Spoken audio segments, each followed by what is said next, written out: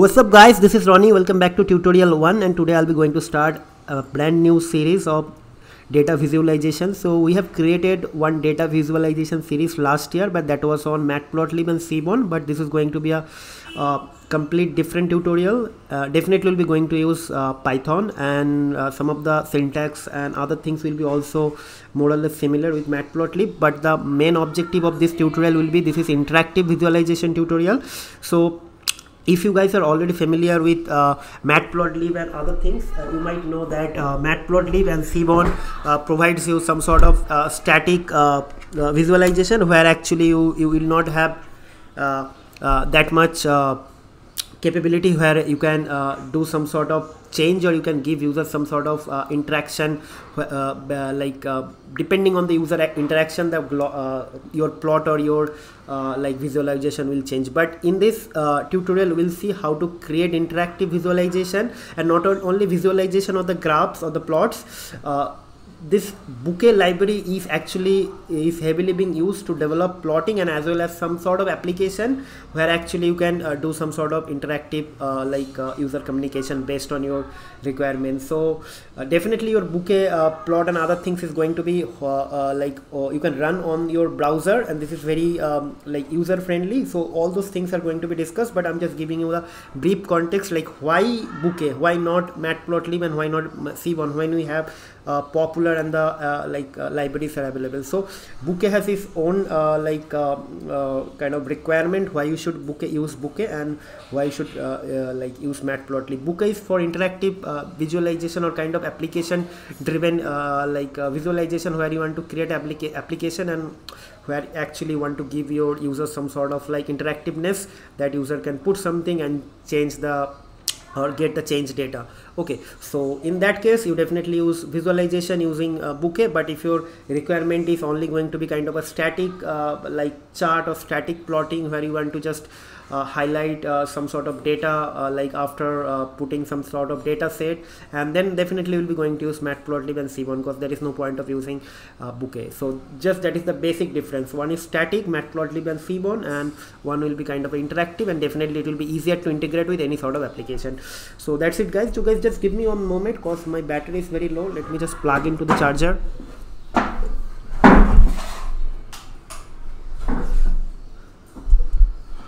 Okay so that's it. So let me just go ahead uh, with the next slide. So definitely what is bokeh? So i think i have already discussed this thing in last few minutes but again let me just reiterate this thing. Bokeh is an interactive visualization library for modern web browser. So as i told you all your bokeh plottings and charts graph visualization everything will be hosted on the browser and this is going to be very browser friendly for example if you want to host your matplotlib plot in browser there could be multiple things. You cannot do it by your own. You need to have uh, some sort of uh, you need to have some sort of reference from either any web driven uh, like ref, uh, framework like Flask on Django but in Bokeh you don't need that. You can uh, easily host your uh, the hosting of what is very uh, like uh, wrong here but I'm just uh, using it to give you guys some sort of intuition. So Bokeh plots are by default uh, rendered and open in browser. It will be going to give you a HTML file. So I'll, I'll tell you guys when I'll do the like first coding or hello world kind of a coding. So that time it will be easier. But just for the timing just understand this thing. Bokeh is so like simple and easy to use that you can run your chart and plots uh, directly in the browser okay? It provides elegant concise and construction of the versatile graphics and affords high performance interactivity interactivity over larger streaming data sets. So as i told you it will give you kind of interactiveness based on your data set. For example now the data is 5 so that is why the graph looks like this. Something user enters after 1 second 6 immediately the graph will change. So that is the thing the interactiveness. Bokeh can help anyone who would like to quickly and easily make interactive plots dashboards and any data application. So creating dashboards and data related applications are very useful. And for that reason you should use bokeh you, if your requirement is not uh, visualization or interactive visualization on application then probably you can go ahead and use matplotlib and seaborn but if your ultimate uh, goal is to create some sort of interactive dashboards or any data driven application then definitely bokeh is the go-to library okay? So um, that's it. Enough of uh, definition. Probably next slide will be something uh, interesting for you. Okay that's it. As i remember so uh, uh, reading the documentation is very uh, good practice and i will highly recommend you guys to develop that practice. So every day if you invest 20 or 15 minute times to reading this document when you are learning something you have to just define your time and other things so that uh, things should things should go in a structured way. So 20 20 minutes learning of the document is remaining one hour or half an hour whatever is actually doing some coding. And definitely if you structure your like uh, schedule of learning something in that way definitely will become a master after some time okay? So guys please watch out for this uh, link. Everything is documented over there. So i started learning bokeh four five months ago now i can say i know bokeh in some sense and i can do my own work and that is why i came here to share my knowledge with you. And all my knowledge uh, resources and sources are this link. And definitely whenever I found some difficulties I do Stack Overflow I do Google. That is always good thing to do. There is nothing to hide okay? So let me move on to the next slide. So how to install bokeh so it will be going to be the pip install bokeh or conda install bokeh so i will going to show you guys okay? So let me uh, open it from here okay? So probably i already have uh, installed bokeh so that is why it is not going to uh, give me this but still i'm just going to try it. I'm not sure. Uh, let me try this thing pip3 install bokeh okay? So if you run this thing okay. So something will happen let's see okay so it is saying uh, already installed. So what I'll do uh, uninstall then maybe I can write y then try this thing to uninstall this thing. Okay uninstalling bokeh bokeh is successfully uninstalled. Then what i'll do i'll just try to uh, install again. So now this will install. I'm just going to give you guys the uh, high level uh, like uh, things that actually in this way you can install bokeh so that you cannot complain after that. Because i have seen so many things that installation is not working for me not working for me like this sort of thing. So that is why i'm just doing it. It's very simple. Okay? So definitely it requires some of the dependencies. So it is always good to have numpy pandas uh, jinja and other libraries. I don't know what are the uh, uh, like dependencies are required but there are few dependencies as required. Okay?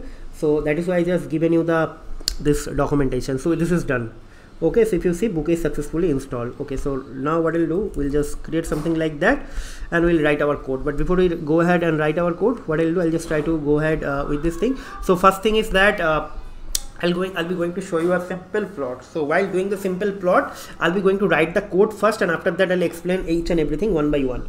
Okay? So first of all uh, from from bokeh dot uh, there are uh, two uh, two main uh, like interface bokeh gives one is bokeh plotting and another one is bokeh model. So bokeh plotting is a high level interface which is actually uh, widely used for creating different sort of plots charts and visualization. And another uh, interface is there. That is a low level interface that is called bokeh dot model so i'll explain each and everything in the later part but i'm just giving you a verbal uh, like um, information. So bokeh plotting and bokeh dot plotting and bokeh dot model. Dot model is actually being used for uh, application develop, uh, development related tasks. Like when your uh, requirement is to create some data driven application. But for this tutorial we'll be going to use uh, bokeh plotting okay so what are the things is required from bokeh plotting is going to be import. So figure. Figure is a, a, a class which is uh, going to be used to define your figure. Then another one is output uh, file. Output file is going to help you to uh, create the output file. Okay right? And the next one is show so it's going to help you to render your plot in the browser. Okay? So next thing is like this. Okay. Now what I'll do I'll just create a simple uh, a python list or maybe I can create an numpy library. So let me just like numpy numpy as numpy as np like this. Okay? And after that I'll write n equals to np dot arange. It should be start with 0 100 and maybe I can give a counter of 2 okay? And I'll give b it will be np dot range. Maybe I can start with uh, 10 uh, 10 uh, 100 and maybe uh, as I told you uh, I need uh, I need here 50 so maybe okay let's start from here. And 200 and also make it 2 okay? Like this okay? So so our data set is ready. I'm just creating a random dummy data set. Now the first thing so let's create a variable called uh, uh, plot uh, or maybe it's like sample plot and this is going to be figure like this okay? Then uh, it should be sample. So it is actually uh, creating an object uh, uh this is actually I'm creating an object and inside that you can uh, put some variables uh, not not variables sorry you can put some keywords argument but I'm not using that I'm just going to explain in the later part. So sample underscore plot okay like this okay and inside that you can put a and b okay like this you can put and once this is done you just put show and inside that you can put sample underscore plot. Okay? But before you put so you have to use this thing. Okay? So it will create a html file. Okay? So like this. And here you have to create like this is tuto tutorial one dot, dot html so now what will happen? This will open a, a, new html window here and the file name will be tutorial1.html and here this uh, plot will be uh, uh, like you, can see the plot and the plot will be displayed. So i'm writing this thing. Figure object is not callable so it is it is showing that uh, sample uh, plot equals to figure. This is showing that uh, figure object is not callable. Okay. It should be html okay so okay i did a mistake. It should not be sample.plot so uh, definitely uh, when when you create a plot you have to give a type. So uh, as i uh, uh, forgot you. So let me just explain. We are just creating an object of figure and here we are actually going to plot. So plot will be some sort of type. So this is called glyphs in bokeh. So you have to give this line. There could be multiple types of glyphs means multiple types of geometrical objects are there. Geometrical objects are known as glyphs in bokeh. I'll explain this thing in the later part. Just for the sake of understanding just like this. So now it is going to be create a line chart and now if i run this thing see it is going to open this thing. And if you see here we got some pan. Like uh, this is for uh, like some left right up down. This is for zooming this is for saving. And all these things are actually nice uh, nicely integrated. And if you see here the chart is uh, sorry the, the, the graph is actually came or the visualization came with this tutorial 1.html so definitely you can create some name some axis and other things. So that will be uh, discussed in the later later part because that is not important now. We can create definitely the, all those sort sort of things. For example um, you can you can create uh, let me just uh, create. You can create here some legend for example.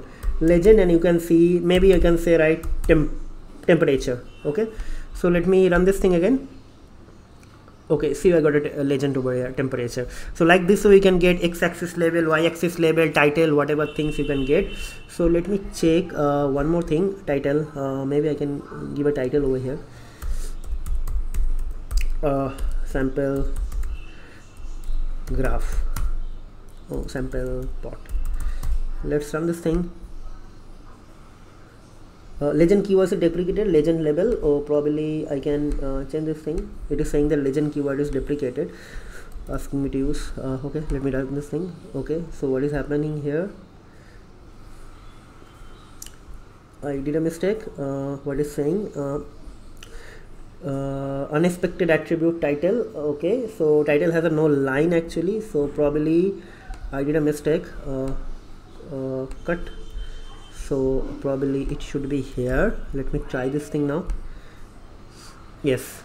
Okay. So title should be here in your uh, like in in this in this when we are creating object you have to put some sort of keyword argument. There actually could see. So there is something else also possible. So it should be x underscore uh, axis underscore label. So here actually can put uh, maybe whatever just dummy something dummy. Let me run this thing. So see I got time x-axis label time. And here also I can uh, write something. So guys uh, I, I actually don't remember I don't like to remember this thing. Cause uh, generally you know if you put some sort of question mark like this in here like with this uh, object this is going to give you everything. So don't try to remember everything. This is absolutely not necessary. So time and temperature like something like this okay? If you see over here so this is time this is temperature this is the uh, title of the plot and we got this thing. So this looks this looks really okay and everything is fine so probably what I'll do I will just try to uh, take a screenshot of this thing okay? And like this. And I'll try to put this thing here okay?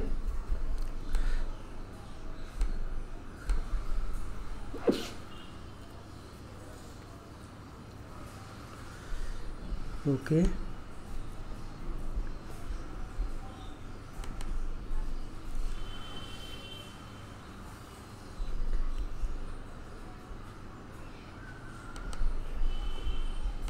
that's cool.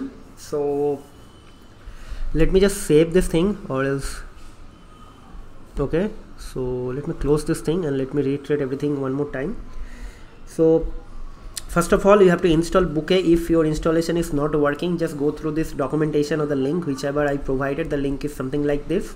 Latest docs bokeh. If you search in the google bokeh documentation you will get through this link only okay? So once this is done you can just play around with this thing.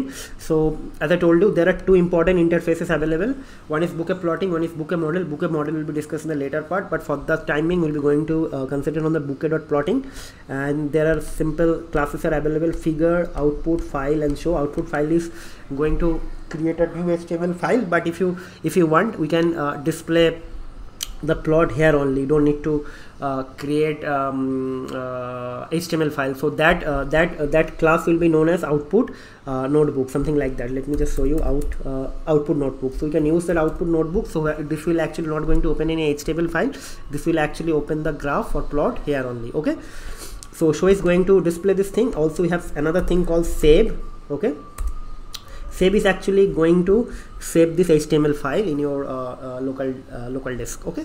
So all these things are uh, more or less uh, same or similar to the matplotlib or seaborn but here we'll get some sort of interactiveness. If you see here we got this thing we have got this thing we got so many things here. We're going to explore all those things in the later part. So gradually we'll uh, tackle some inter like intermediate and advanced use case and more will actually um, go inside the bokeh library okay?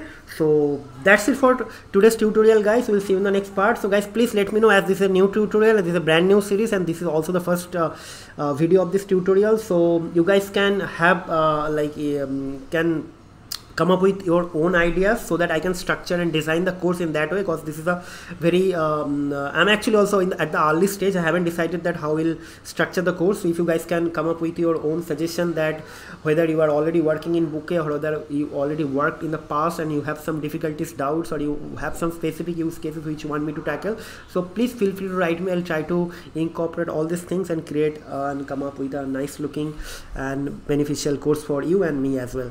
Okay? And and also put some sort of feedback and comments how you are actually enjoying if at all you are not having any use cases okay?